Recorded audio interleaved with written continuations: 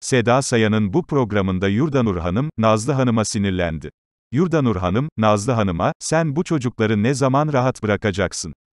Sen ayırıyorsun bu çocukları artık rahat bırak dedi.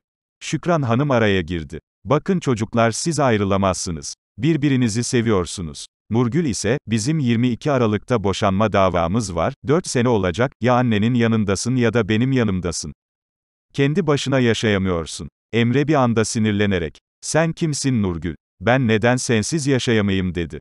Nurgül ise bir adamın kendi kendine yaşayabilmesi gerekir. Kendi yemeğini yapabilmeli, kendi çamaşırlarını yıkayabilmeli ve özellikle de benim giymeme karışmaması lazım dedi. Emre sinirlenerek, bunların hepsini ben yapacaksam neden aldım seni o zaman?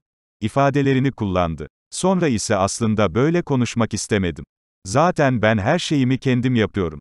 dedi. Nurgül, ben senin yanında kendimi güvende hissetmiyorum. O yüzden ışıklar açık uyuyorum dedi.